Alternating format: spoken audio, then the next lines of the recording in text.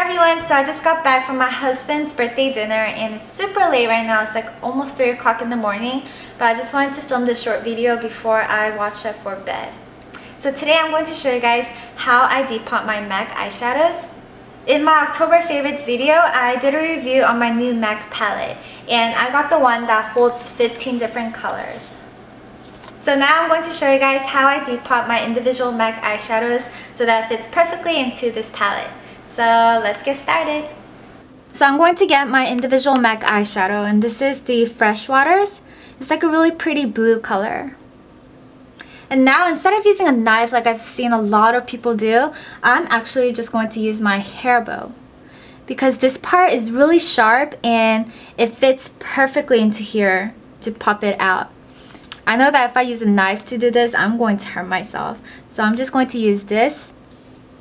So if you look closely, there's like a little space right there. And that's where I'm going to stick this in. And what you're going to do is kind of wiggle it. Some eyeshadows will pop out faster than the others.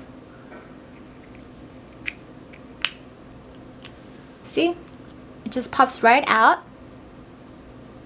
Next, I'm going to get a candle and lit it up.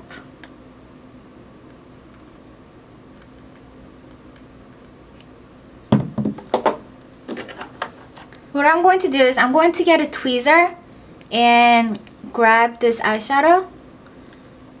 The reason why we're doing this is because the little silver pan is actually glued onto the plastic and if you look at the bottom it's just all black plastic so you're just kind of melting it until you see a little tiny hole so that you could pop it out. So now if you look at the bottom you will be able to see the silver pan right there because the plastic kind of melted so there's a hole there. So keep checking back to see if you see a hole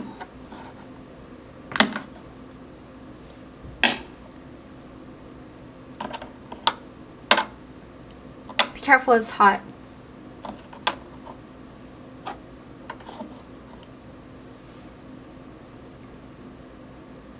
Now I'm going to just stick this back in here because MAC has a back to MAC program where if you return six of these or any cases, you could get a free lipstick or a free eyeshadow or lip gloss. So make sure you collect these I know some of the MACs require the silver pan to be in here, but some doesn't. So make sure you call and find out. The MAC next to my house, they said that I don't have to have the silver pan in here, so I'm good. Now I'm going to take the sticker label off of here so that I could put it on the bottom of this.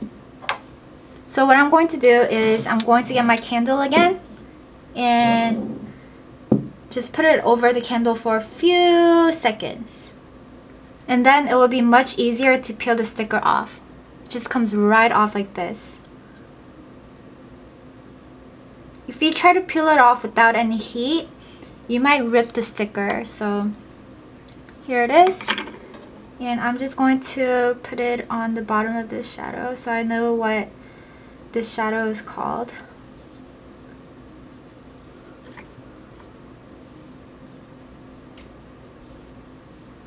So there you go.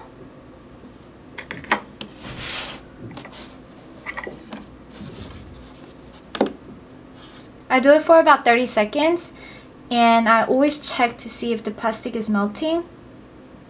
Sometimes the hole won't form but if you see that the plastic is really melted then you can stop.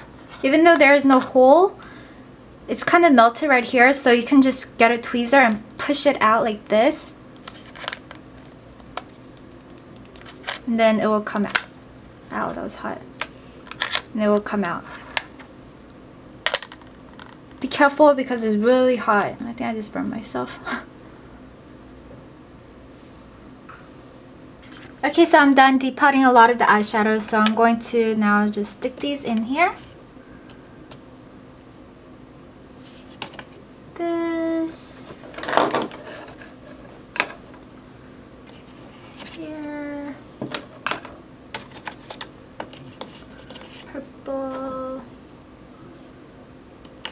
Divine, Amber Lights, Satin Taupe.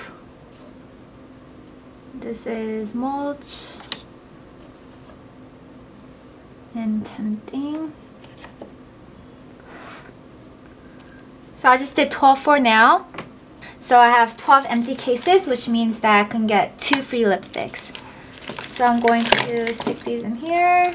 Three, four, five, six, seven, eight, nine, ten, eleven, twelve. Yay!